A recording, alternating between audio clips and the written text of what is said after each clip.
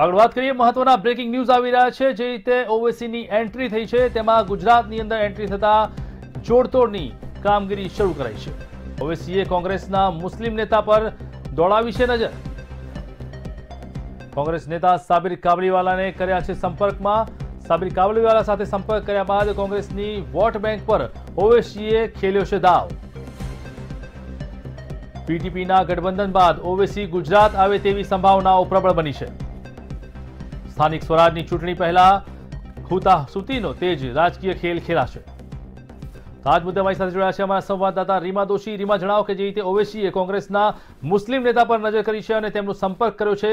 શું છે સમગ્ર માહિતી? વિશાલ, સૌથી મહત્વની વાત છે, એઆઈએમ આઈએમ ના નેતા ઓવેસી દ્વારા જે પ્રકારે સવારે જાહેરાત થઈ, બીટીપી દ્વારા કે તેઓ બીટીપી સાથે હાથ મિલાવશે અને આ સ્થાનિક સ્વરાજ્યની ચૂંટણી અને બે હજાર બાવીસમાં જે ચૂંટણી યોજાવા જઈ રહી છે, તે વિધાનસભાની ચૂંટણીમાં પણ સાથે મળીને તેઓ જંપ લાવવાના છે. સાથે જ બીજા મહત્વના સમાચાર છે કે જે અત્યાર સુધી અહેમદ પટેલ છે, તે ગુજરાતના તમામ મુસ્લિમ આગેવાનો ઉપર તેમનું વર્ચસ્વ હતું. પરંતુ અહેમદ પટેલના નિધનને એક જ મહિનો થયો છે અને ત્યારે આ પ્રકારની ઘટનાઓ સામે આવી છે કે ગુજરાતના અને તેમાં પણ અહેમદાબાદ વદવાદના ખાડિયા, જમાલપુરથી એક સમયના ધારાસભ્ય રહી ચૂકેલા સાબિર કાબલીવાલાનો સંપર્ક છે. તે ઓવેસી દ્વારા સાધવામાં આવ્યો છે. સૌથી મહત્વની વાત એ છે કે તેનો સીધો ફાયદો છે તે ભાજપને જશે.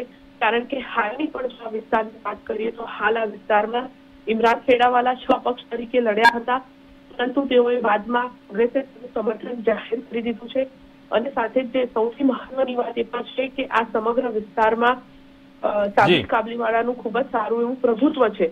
જો એ પણ ઓવેસીની સાથે મળીને હાથ મિલાવે છે તો કોંગ્રેસને નુકસાન કરતા સૌથી વધારે ફાયદો ભાજપને થશે આ બેઠકો ઉપર અને સાથે સાથે જે અન્ય વિસ્તારો છે ત્યાં પણ સીધો ફાયદો થશે અને આવનારા સમયમાં અન્ય લઘુમતી કેટલાક ને- કોંગ્રેસના નેતાઓનો પણ જો ઓવેસી દ્વારા સંપર્ક સાધવામાં આવે તો નવાઈ નહીં રહે. ચોક્કસ તેમાં આભાર આપનો. તો જે રીતે અત્યારે હાલમાં ઓવેસીની ગુજરાતમાં એન્ટ્રી થઈ છે અને જોડતોડની નીતિ શરૂ કરવામાં આવી હોય તેવું લાગી રહ્યું છે. ઓવેસીએ કોંગ્રેસના મુસ્લિમ નેતા પર નજર દોડાવી છે અને કોંગ્રેસે કોંગ્રેસના મુસ્લિમ નેતા સાબિર કાબલીવાલાનો તેમણે સંપર્ક કર્યો છે.